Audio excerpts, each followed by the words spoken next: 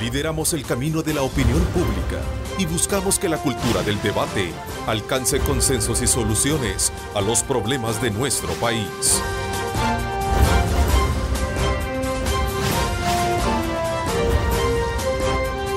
Diálogo con Ernesto López. Buenos días, El Salvador, ¿cómo están? Eh, qué placer saludarles a ustedes a esta hora de la mañana. Gracias por estar en sintonía de Cadena Megavisión. Somos canales 15, 19 y 21 cubriendo todo el territorio nacional en esta mañana de día jueves 28 de agosto. Gracias por estar en sintonía de diálogo con Ernesto López. El país es sede actualmente de un Congreso Regional de Energía que tiene como objetivo analizar los retos que tiene el sector eh, energético frente a las necesidades crecientes de cada país. Este es un evento que realiza la Asociación Salvadoreña de Industriales ASI, donde desde luego se están planteando aspectos muy importantes como por ejemplo tener claro que para reducir, fíjese usted, la factura eléctrica, se necesita mayor inversión en tecnología, además de diversificar la matriz energética, puesto que en países como eh, el nuestro poco se ha avanzado en esta materia. Eh, durante todo el programa vamos a tratar la manera de darle respuesta a la siguiente pregunta. ¿A qué costo el país produce energía y cómo la coloca en el mercado? ¿Cómo está Centroamérica también? Eh, los países centroamericanos de cara a poder darle sostenibilidad en el tiempo. ¿Y qué garantías tiene no solo también eh, Centroamérica, sino que la nación misma, digamos, con la actual matriz energética para continuar siendo sostenible?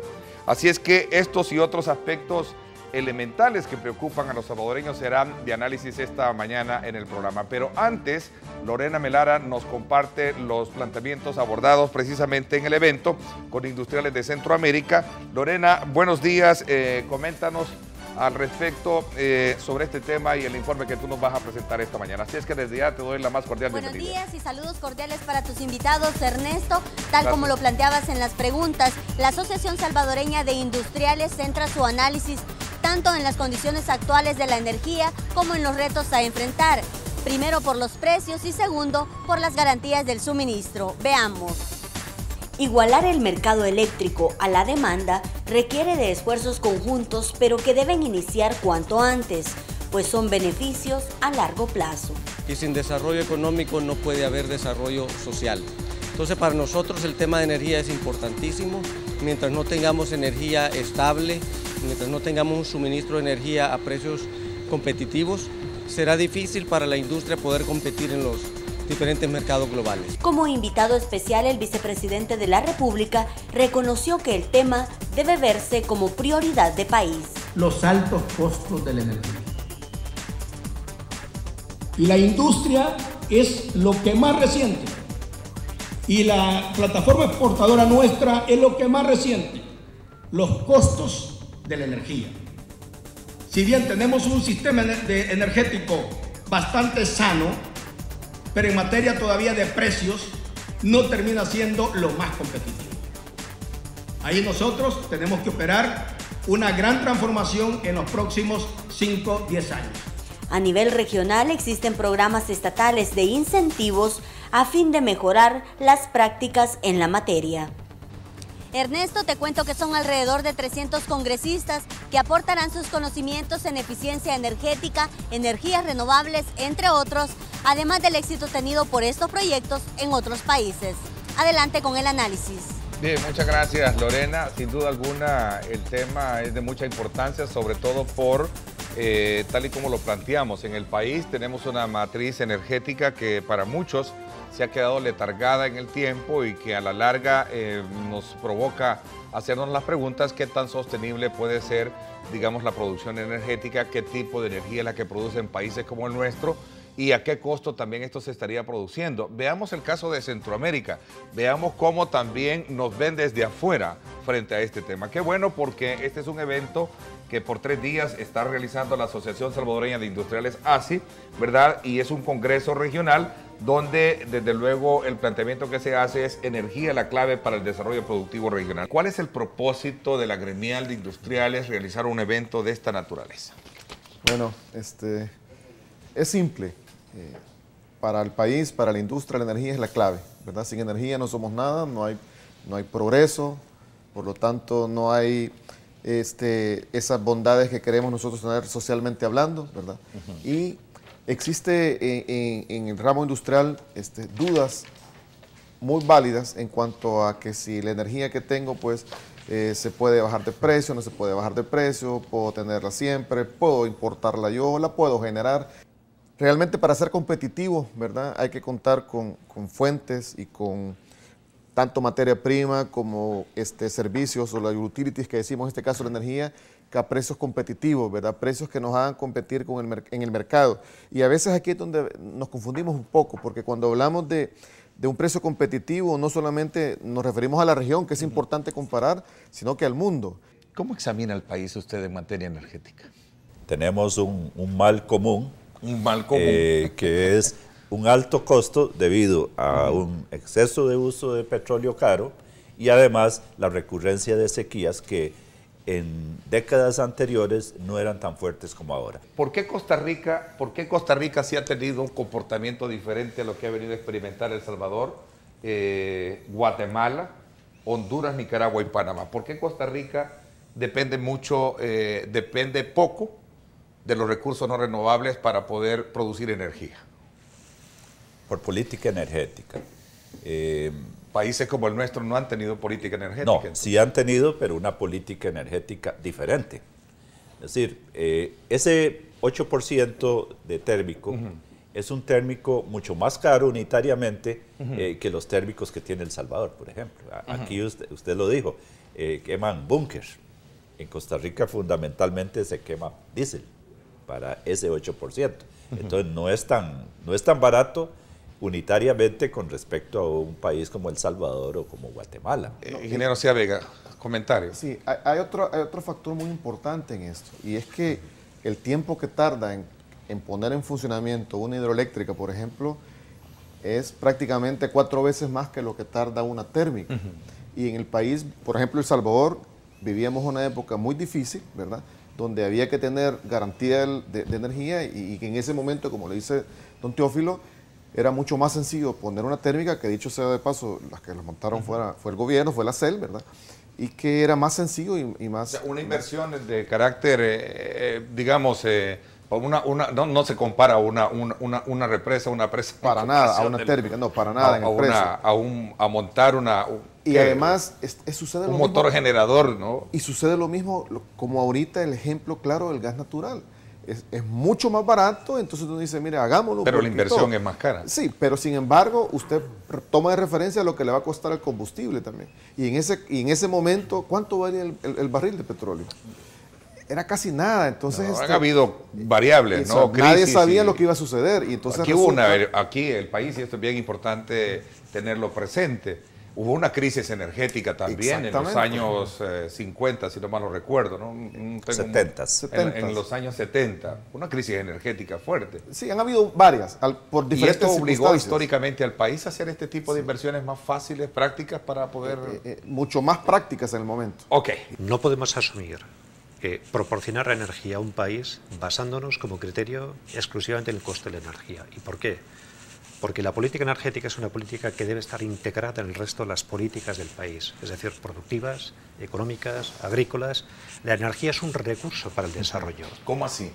¿Cómo tiene que estar integrada a esos otros rubros? Explico. Cuando uno varía su matriz energética y quiere pasar de un mix A a un mix B, existen muchas opciones posibles y ahí lo hemos visto. Es decir, cada país presenta una casuística y encuentra la mejor opción. La cuestión es que uno debe encontrar cuáles son los impactos que se generan cuando decide evolucionar en su mix energético. le pongo un ejemplo claro. Cuando decidimos invertir en proyectos en los cuales pues, vamos a implantar 100 megavatios de potencia renovable, no todas las tecnologías renovables generan el mismo empleo, generan el mismo aporte al Producto Interior Bruto, generan la misma recaudación fiscal. Por lo tanto, además del coste de la energía, existen otros parámetros que hay que tener en cuenta bajo una visión macro del país. Y eso es compatible con que existan luego inversores privados que, lógicamente, puedan invertir en la tecnología que encuentren oportuna. Cuando la energía es un insumo muy importante para mantener la competitividad de las empresas, también es cierto que en ese caso el coste de la energía asociado a que las empresas puedan mantener su actividad es un factor vital que tenemos que controlar. Pero también es cierto que siendo esto así, debe ser compatible con una visión más amplia. Pero efectivamente, la energía es como el fluido es como la sangre, es decir, llega a todos los órganos vitales. Exactamente lo mismo sucede en un país. La energía llega a todos los órganos vitales y a todos los sistemas productivos y de servicios. Cuanto más económica sea y más competitiva, el impacto social que está asociado pues será menor. La política energética eh, en el país ha sido eh, transgredida por intereses más de carácter políticos, económicos, que pensando precisamente en, digamos, la sustentabilidad en el tiempo y sobre todo sobre la base de eh, ser un factor de apoyo al desarrollo del país, como hoy lo están planteando. Tener más fuentes, ¿verdad? Que no me hagan estar en extremos a veces, que si el petróleo sube, pues es muy caro y me va a subir el precio, que si tenemos sequía, pues no puedo cómo suministrar porque no tengo otros recursos, o que o hacíamos a veces la broma, ¿verdad? mire, están los fotovoltaicos, pero si pasa una nube no genera, se va la nube genera. Entonces, ¿qué es una matriz energética diversificada? Es esa matriz que me permite estar seguro energéticamente hablando en el país al precio más competitivo posible, ¿verdad? Y que yo no tenga que estar tan expuesto a que si el petróleo se va para arriba, a que si el gas natural no me lo mandan, porque no somos nosotros generadores ni de gas ni de petróleo. Estamos expuestos a políticas de precios exteriores. Gran reto de los seis países, cada uno en su campo, es buscar la forma de que no siga creciendo, el precio de la electricidad y buscar también la forma de que se abarate en el futuro. Primero, por limitar la independencia energética, es decir, somos 70% dependientes, con lo cual estamos sujetos a la volatilidad de los precios internacionales de la energía en los mercados, y eso es un riesgo, es un riesgo porque afecta a toda la economía. ¿Quién debe de abanderar una inversión eh, de esta naturaleza, el Estado o el sector privado? Yo creo que tiene que ser un mix.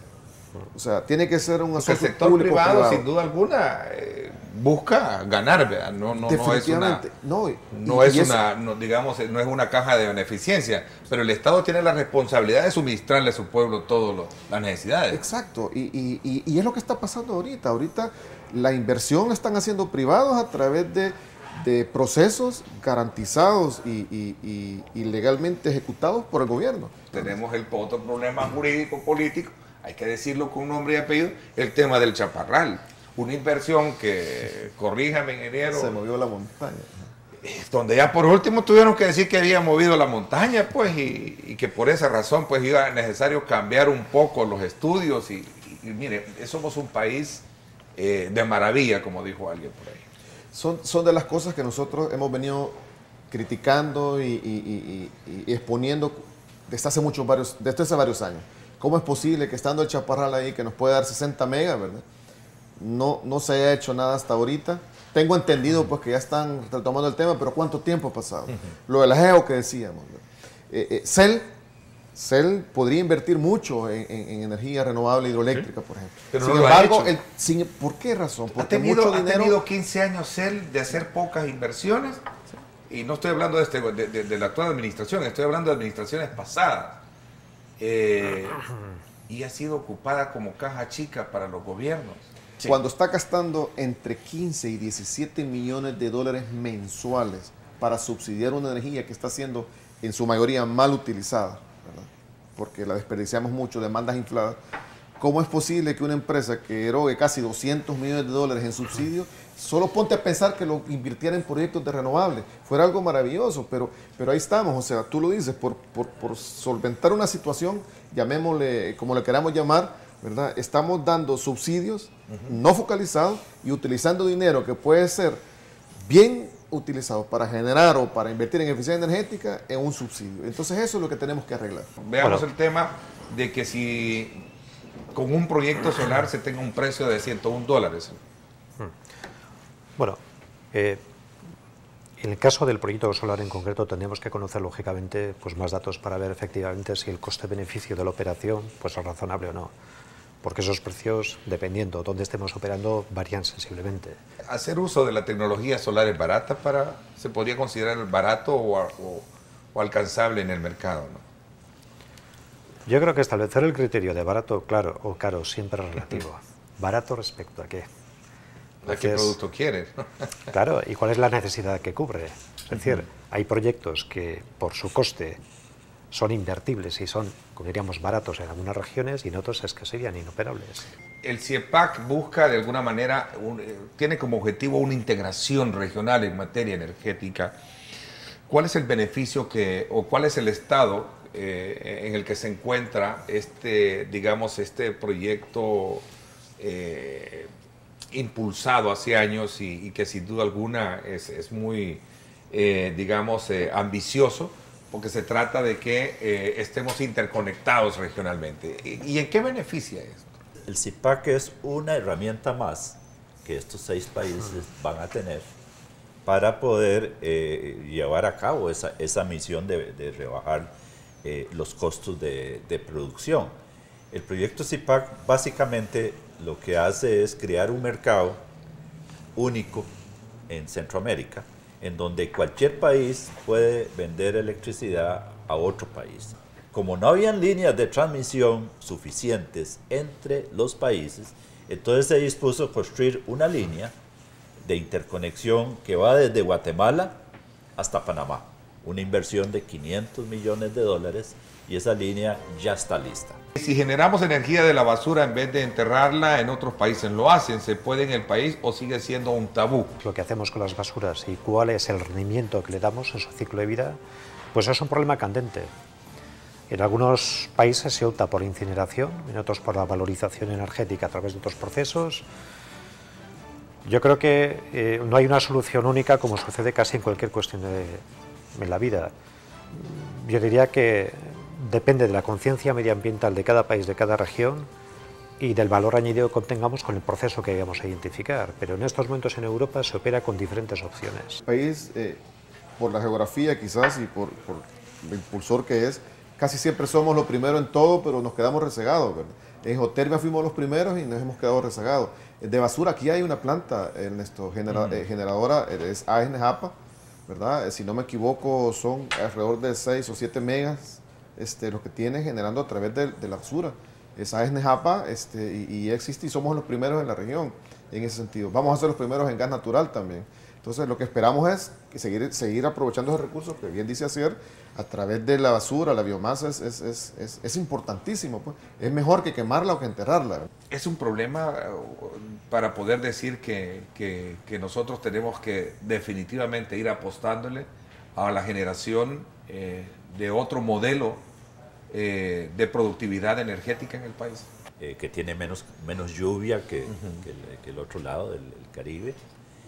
Y entonces, pues eh, la parte hidroeléctrica pues no es el gran recurso para El Salvador futuro y de hecho lo ha hecho muy bien porque ha aprovechado los ríos que, que, hay. Tal vez queda un, gran proyecto que tiene otras consideraciones, que es el, el, Tigre, que está ubicado en las fronteras entre Honduras y El Salvador, que es un desarrollo hidroeléctrico que, que, ha estado en discusión por muchos años y no se ha llevado a cabo. Eh, también es muy importante monitorear eh, la capacidad de producción de electricidad a partir del viento y obviamente el solar también. Aunque grandes extensiones de solar para un país que tiene un territorio pequeño probablemente vaya a haber en algún momento un choque entre el uso de la tierra para una cosa. Que lo decía, lo decía el amigo que nos escribió. Lo, escuchamos, En Twitter, sí. Eh, entonces, eh, esos son los recursos naturales que tiene. Ese es el mapa eh, del Salvador. entonces aparece el gas natural, que no es de aquí, y el gas natural es un recurso no renovable, pero que hoy por hoy y tal vez para los próximos 10 o 20 años pueda tener eh, atractivo económico. Por mi parte, esto es todo por hoy. Mañana, análisis político con nuestros panelistas de los viernes, no se lo pierda, siempre a las 6.30 de la mañana por cadena Megavisión, canales 15, 19 y 21. Gracias, pásenla bien y como siempre recuerden lo más importante, amar a Dios sobre todas las cosas.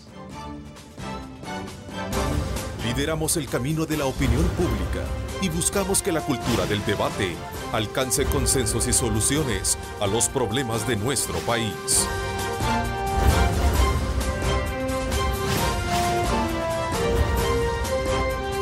Diálogo con Ernesto López.